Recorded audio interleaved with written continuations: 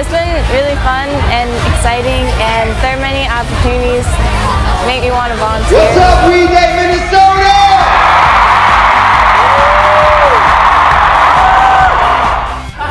We Day feels really inspiring, and I feel so incredibly pumped to be here. I want to thank all of you for what you've been doing in your community to make it better. It feels great to be back. You know, it, we went here last year and it was just an awesome experience, and it's even better this year. That's what we should be about.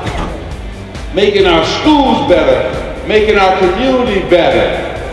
And it starts locally, right here in Minnesota.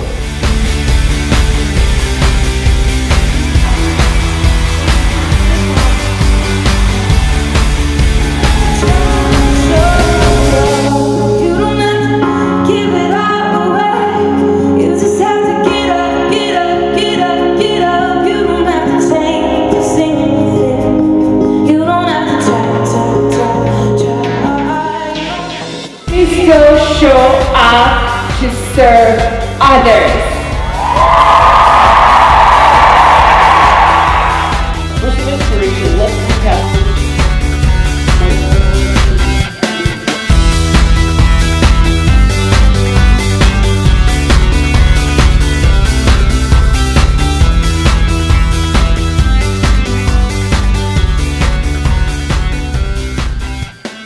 My name is Mama Helen.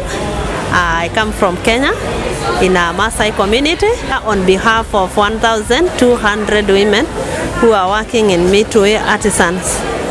Being here is a chance to say thank you to all the people who have supported us in our education.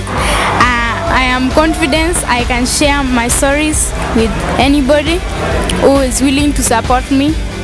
Um, no, it was just a really good experience overall.